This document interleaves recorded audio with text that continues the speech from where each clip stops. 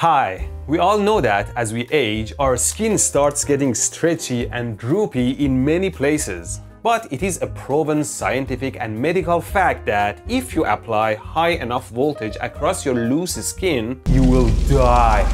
Yes, I'll be talking about the skin effect. But the electrical skin effect has nothing to do with the live skin. All it's about is that when we run AC current through a conductor, the magnetic fields inside the conductor push the flow of current towards the surface or the skin of the conductor.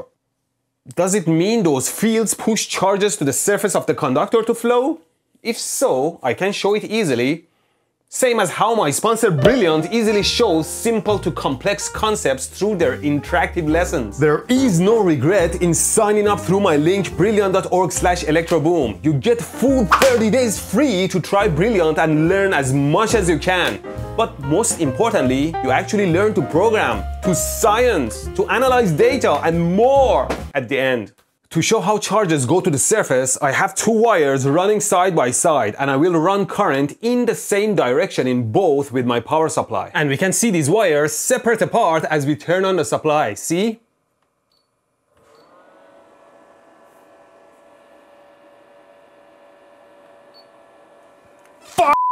Oh sh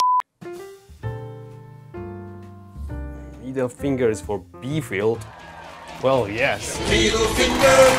According to the right-hand rule, for same direction currents, the force on wires is towards each other. They repel each other when the currents run in opposites. I already knew it too. That's the whole reason for lightning. Say when charges start flowing from clouds to the ground, the magnetic fields pull them together and eventually create a single channel. Now, this confuses me for two reasons. First problem I have is we had a debate with Veritasium a while back where we agreed how spread of charges in a wire is uniform. And now this suggesting magnetic fields should pull charges towards the center of the wire? And second problem is, well, in skin effect, the charges should flow at the outer skin layer of the conductor, not at the center. My test was DC though. It might be something AC does.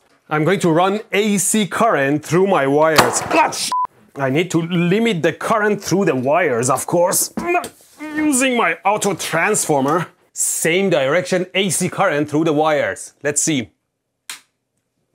For the love of and the wires got attracted together and melted shut. And so we read Wikipedia. The magnetic fields generate eddy currents that oppose the flow in the middle. Oh.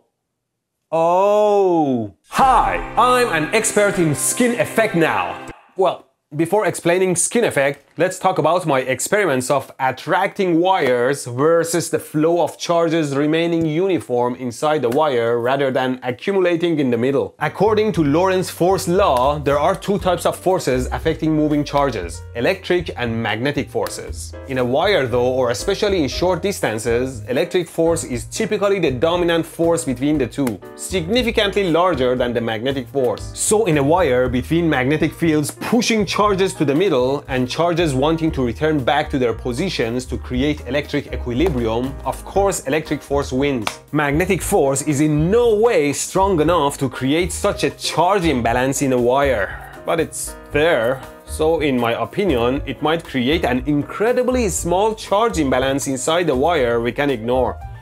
I'll park that thought for now. Let me know if there is an article on this in the comments. The reason the two wires jump at each other though is because, to simplify, ignoring the small effect of relativity of objects in motion, there is no charge imbalance or electric force because electrons and protons move together in the wire structure.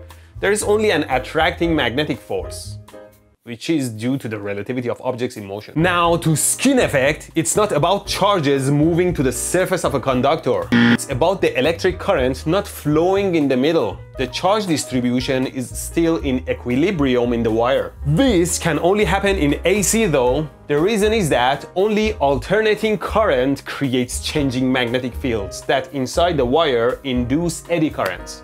I have explained eddy current back in my old video, you can watch for more details. But basically, when AC current flows one way in the wire in a snapshot of time, creating magnetic fields in a certain direction, the resulting eddy currents are always such that they amplify the surface currents but oppose the center currents so less current in the middle. I think there's a way for me to show that the current is lower in the middle of the wire by making a wire with multiple strands. I have seven short strands of wire and I'll place one of them in the center and the rest around it. Like this. I soldered all of them together on one side, but on the other side I separated the center one from the rest of the six. See, according to the skin effect equation, the skin depth, which is a depth in the wire skin where over 60% of the current runs through reduces as the frequency rises. Like in copper, it is 8.4 millimeters at 60 hertz, but 0.2 millimeters at 100 kilohertz. So I'm thinking with my arrangement of wires, the center wire current should stop as frequency rises. Now to measure the current, well, that was a waste of time experiment. I'm an idiot. Remember those eddy currents? I cut right through them by using multiple strands killing them. This is one of the good ways to reduce skin effect. In my measurements, the center and outer currents remain close until frequency rises above 10 MHz, after which it enters the realm of black magic. How can I measure it then? Okay, here's my next scheme. To avoid cutting the eddy currents, I'm using a wide copper tape. Then inject AC current one way and pulling it out from the center and outer layers separately to measure... Another pointless effort. So as I measured, the middle current actually drops, but only when I get to 5 MHz, after which it is black magic again middle current should drop way more significantly at much lower frequencies. Yes, it may work to some extent, but remember, a wire is a three-dimensional cylinder and all the eddy currents concentrate in the middle having a much greater impact than my flat two-dimensional copper. Okay, here's another idea. Skin effect literally increases the resistance of the wire. No, I'm not talking about the impedance due to inductance, but the actual resistance because the current, rather than flowing through the entire cross-section of the wire, flows through a thin skin. To measure the resistance, I typically run a bunch of current through the wire and measure the voltage across it and that gives me the resistance. But in AC, wire also has inductance, so the voltage across it is a result of both resistance and inductance which is a problem. Okay, I have an idea. I run an AC current through a rod as my wire, and I can check the current by measuring voltage across a 1 ohm resistor. Then I measure the voltage across the rod. Like this mess of a setup. Here's my rod with the probe wires across it measuring the voltage, which is the blue trace down there, which is just a few millivolts. And the yellow trace is the current through the rod that has a 1 amp peak.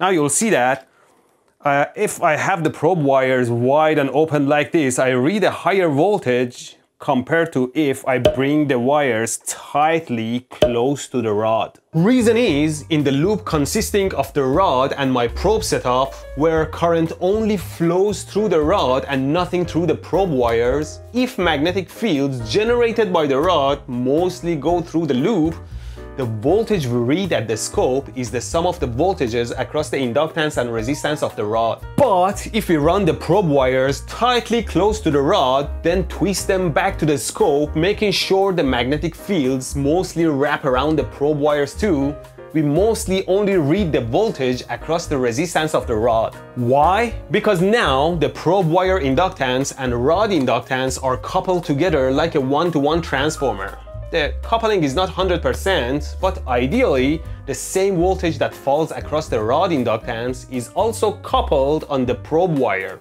And so we only read the resistor voltage.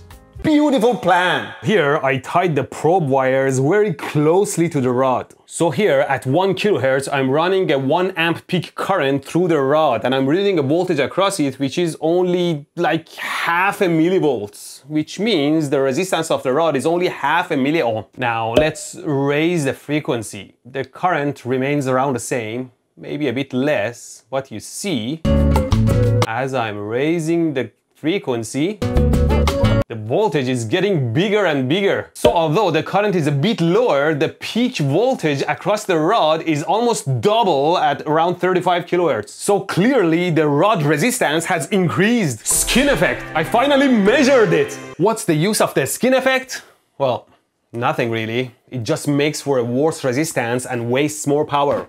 You would think making a thicker wire would help, but really you're adding a ton of copper in the middle that current doesn't run through anyway. That's why in high power lines they can happily trade the wire core with a steel wire to make a much stronger wire that can hang over long distances without breaking. Or in induction heaters they actually use a copper pipe without affecting the coil resistance. But now they can run water through it to keep it cool.